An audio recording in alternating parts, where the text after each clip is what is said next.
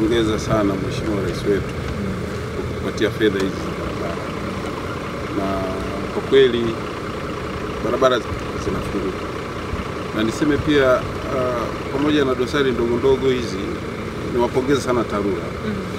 TARURA mkoa wa Songwe mnafanya kazi nzuri, mnafanya kazi kubwa sana. Na mnaendelea kufanya kazi kubwa sana. Haya, hizi dosari ndogo ndogo zinatokana na personalities, sababu hata hili swala la, la procurement, mimi naamini procurement process ikiwa sahihi, unampata mtu sahihi, whether umeshiriki kwenye procurement process, whether hujashiriki, lakini procurement process ikiwa sahihi, utampata mtu sahihi. Labda nyinyi mameneja wa wilaya, labda, labda niwaambie kwenye management tunasema hivi, ukisha kuwepo hapa wewe ukaletewa mtu huko accountable wewe. Huyu meneja wa mkoa amesha delegate kazi zake na power zake za utendaji kazi kwako wewe. Sasa wewe ndio unatakiwa uangalie mapema, mkandarasi huyu anifai, kama wanavyosema, peleka taarifa mapema kwamba huyu anifai, ana mapungufu moja mbili tatu. Kama kuna utaratibu wa kuvunja mkataba, uvunjwe mkataba mapema. Lakini pakishatokea dosari, alafu unakuja kusema kwamba sijui tumeletewa, hata ukiletewa you accountable.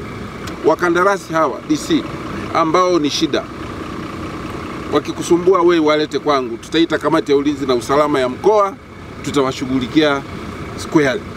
Umenielewa? Haiwezekani watu wapewe fedha za umma alafu wasitimize wajibu wao, maanake wajibu na haki. Kama fedha mtu amelipwa za walipa kodi, ni lazima atimize wajibu wake. Huyu mkandarasi wa, wa, wa makaravati huyu huyo mleteni, dili naye, kama kishindwa mlete kwani. hawa wa, wa, wa, wa, mameneja wa wilaya ni part of the process.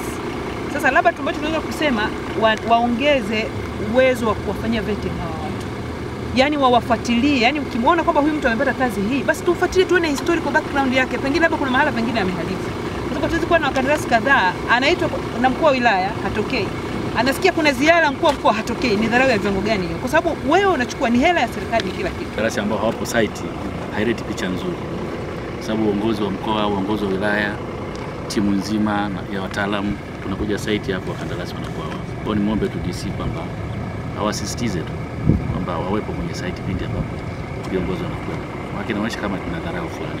process nzima ya kupata wakandarasi watu wote wana, wanashiriki. Tuna tunatangaza kazi ambazo zimeletwa na mameneja wa, wilaya wa, tukishafungua zile kazi zina- zinafanyiwa evaluation kutoka kwao wenyewe. Mimi sina watu pale kufanya evaluation.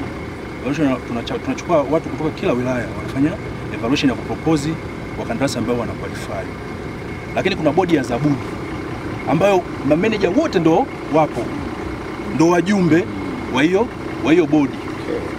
Kwa kama meneja husika anaona kabisa anapewa mkandarasi ambaye sio sawa, ana, ana uwezo mle mle ndani ya bodi kumkataa. Kwa hiyo ina maana wanawapitisha wao wenyewe. Mimi na ninachokifanya wakisha niletea matokeo ya evaluation, evaluation team pamoja na wao, mimi ndo na approve. Ndio kinachofanyika.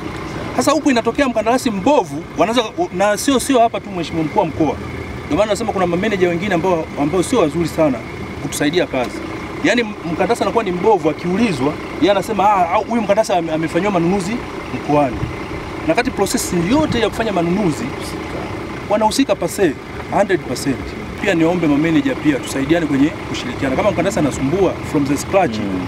tumshughulikie Sawa. kwa sababu hatuna sababu ya kusubiri mpaka mpaka mkataba uishe ndo aondolewe. Anaweza kaondolewa tu hapa kwa usumbufu wa katikati tu hapa, tunaweza tuka- tukamuondoa kulingana na mkataba. Kwa hiyo hilo nitaka niliweke wazi, kwa sababu kuna baadhi ya viongozi walikuwa wanafikiri kwamba sisi ndio tunawaletea makandarasi, wenyewe hawahusiki. Hapana, hiyo hiyo kitu, na hata kwenye vikao vya, vya wilaya wasije wakaongea maneno hayo, kwa sababu wanahusika, yani wako pase 100% wanahusika. Kama hawawezi, manake atoshi kukaa pale, kama anashindwa kuwasimamia Sasa tunamshukuru Mheshimiwa Rais, mwaka huu wa fedha miradi ya TARURA inayotekelezwa kwetu wilaya nzima ina thamani ya shilingi eh, bilioni 8.8 bilioni 4.4 Tunduma, bilioni 4.4 Momba. Asilimia kubwa ya miradi inaendelea na imetekelezwa vizuri. Hata hivyo, na miradi michache au wakandarasi wachache wamekosa nidhamu Kwa hiyo hilo ni sisi tunasimamia, lakini mkoa mkoa ukiongeza nguvu tutashukuru, na TARURA wenyewe tumekuwa tukiwaambia.